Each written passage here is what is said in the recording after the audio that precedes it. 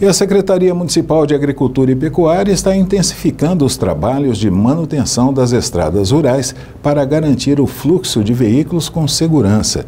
Nesta época do ano, quando aumenta a frequência e o volume das chuvas, as estradas de terra sofrem danos devido ao acúmulo de água e ao trânsito pesado.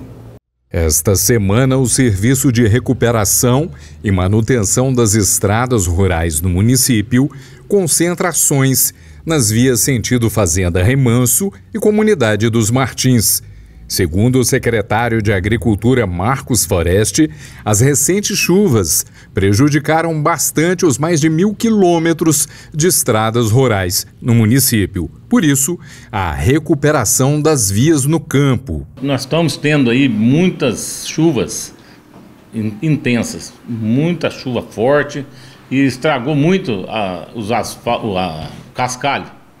Foi bem cascalhado, foi feito um serviço muito bom anteriormente só que com essas chuvas torrenciais aí, tá acabando com tudo.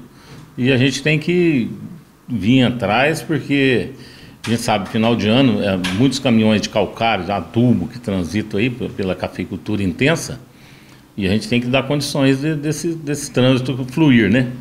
E é muito trabalho, muito trabalho, porque apesar do município não ser tão grande, mas nós temos aí mais de mil quilômetros de estradas rurais e a gente está tentando, pelo menos, o básico, agora nesses dias de chuva até final do ano, de não deixar lugar sem passagem, cascalhando, tirando enxurrada. E para o ano que vem já fazer um programa bem sucedido, igual foi feito comigo lá há dois, três anos, e para ter condições perfeitas para o produtor não, não ter que reclamar da gente, né? Secretário Marcos Foreste ressalta que a manutenção das estradas rurais é vital para o escoamento do produto carro-chefe do município, o café. Um serviço bem feito aí na pré-colheita para dar, dar, um, dar, dar uma oxigenação para a gente. A patrulha nossa é pequena, precisando de renovação e a gente vai renovando aos poucos. O prefeito disponibilizou para o ano que vem, eles vão comprar mais uma reta escavadeira, vai tentar uma escavadeira também para a gente fazer uns, umas obras maiores que tem que fazer. E a gente tendo uma patrulha agrícola à altura, dá para fazer um serviço bem, bem razoável aí no, no, no município. E como o café é carro-chefe aí da economia no município, tem que ter um cuidado especial, né?